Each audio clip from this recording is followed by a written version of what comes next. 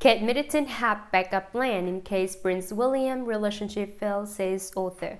Kate, the Duchess of Cambridge, had a backup plan in case her early relationship with Prince William failed, according to a royal expert.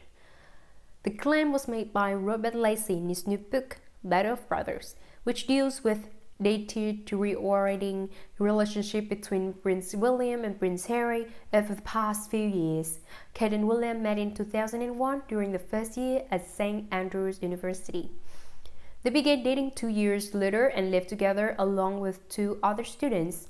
According to Mr. Lacey Kate was determined to make the relationship work, but had a backup plan in case it didn't. He wrote, why Kate's medium to long-term objective was quite simple to lead William in handcuffs to the altar.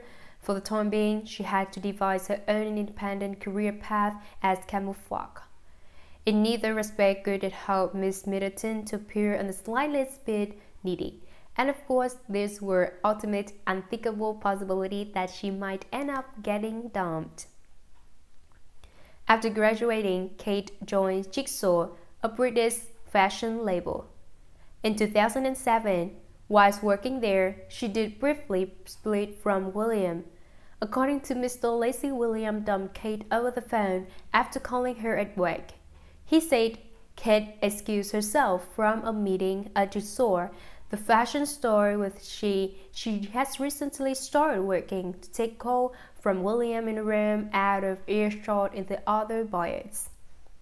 She shut the door for more than an hour. When she came out, she was single However, after a couple of months, William and Kate got it together, Blaine, and the pair announced the engagement in 2010 and were married the next year. William and Kate discussed how the brief split changed them during a 2010 interview to mark their engagement. Kate revealed that she had found it difficult not to be consumed by the relationship. She added, At the time, I wasn't very happy about it, but actually made me a stronger person.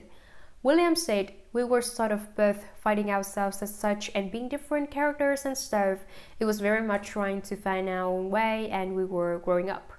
William Kate's wedding at Westminster Abbey on April 29, 2011 attracted an audience of hundreds of millions across the world.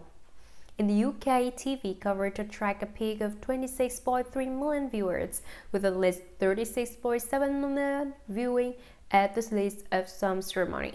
Kate and William have three children, Prince George, Louis, Princess Charlotte, who were born between 2013 and 2018.